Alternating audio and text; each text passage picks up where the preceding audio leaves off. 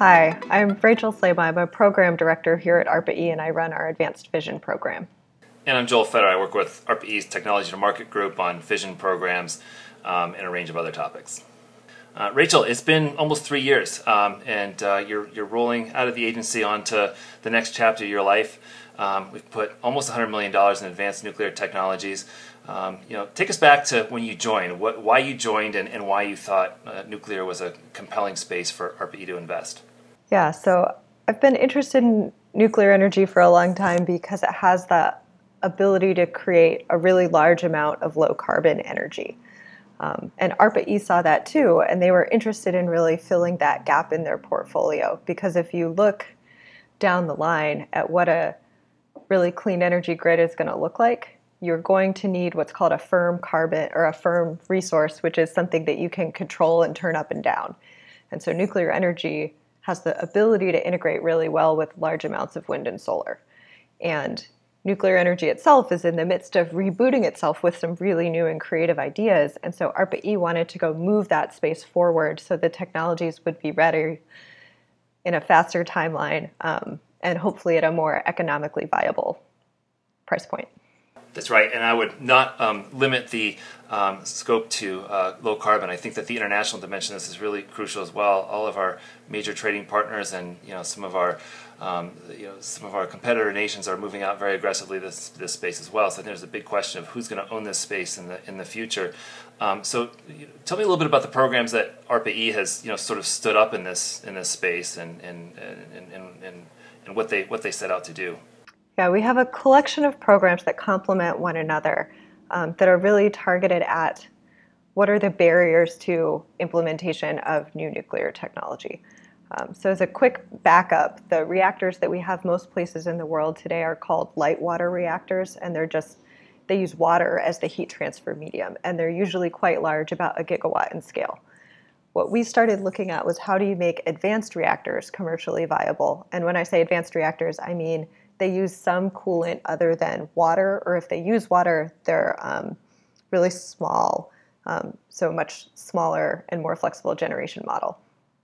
Um, so the barriers have a lot to do with capital cost, um, the potential a potential barrier that the operations and maintenance costs are too high, that the construction schedules are unpredictable.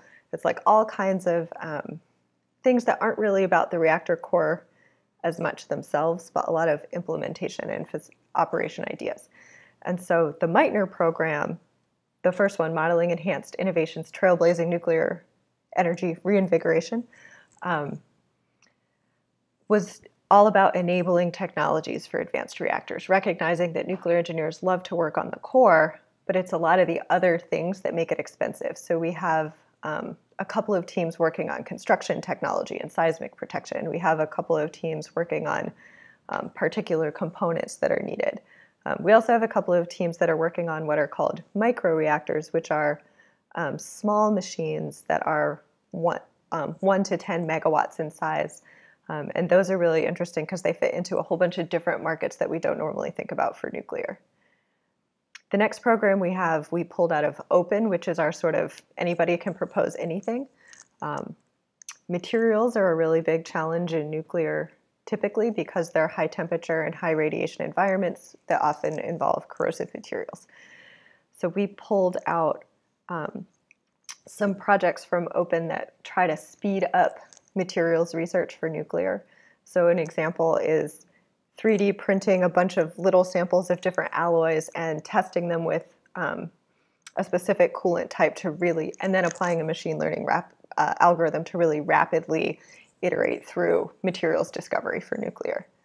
And then our newest program is called Gemina, and that's about operations and maintenance for existing react or for advanced reactors. So in the existing fleet, O&M is a high fraction of the cost, and that's a real challenge in some markets. So we want to set up the advanced reactors to have low cost operations and maintenance. And to do that effectively, you need to think through it now so that you can have all the software you need and so that you can make design choices um, so that your system is easier to, oper- to maintain and operate. There are some very serious people putting forth timelines that have new designs creating electricity as early as the next uh, five years or so. Um, when you think about what we've the teams that we funded and the the, the advanced reactor space generally, um, what do you think is next after this program? A lot of it is proving out some of these parts and pieces so they could be integrated together into an effective whole. So, several companies are building larger experimental facilities on the way to proving out their own designs. Um, the Office of Nuclear Energy is aiming to build a versatile test reactor by 2026. Um, there are some companies planning to build demonstration plants in the mid 2020s.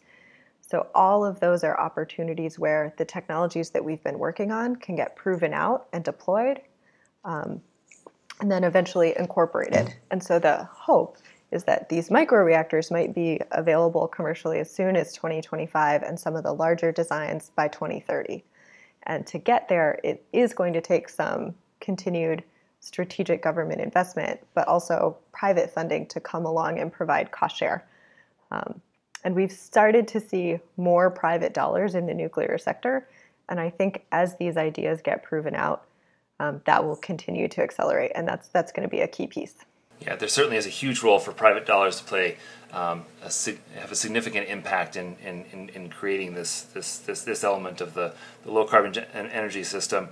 Um, you know, there's there's there's a lot of there's a lot of momentum um, at, at the moment, but um, as I um, you know paraphrase Winston Churchill, we're we're really sort of at the at the end of the beginning. We've we've we've got the designs, and there's a lot of hard work left to do to build out these systems so that they um, you know deliver on deliver on the promise. But um, it really means that there's I think a tremendous latitude for um, a lot of entities, ARPA-E, DOE, NE, as well as the private sector to weigh in and, um, and, and jump in to, to shape what this, what this sector looks like and have a really positive impact on um, what our energy um, uh, mix looks like, as well as how our you know, position and comp- uh, competitive posture in the global marketplace looks like. So, uh, Rachel, I really have enjoyed working with you over these past years and um, wish you all the best. I know we'll be hearing uh, many great things from you uh, in, the, in, the, in the next stages of your career.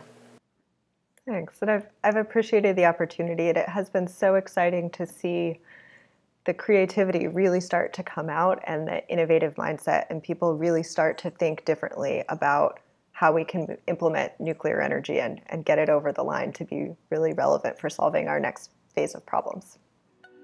Thanks.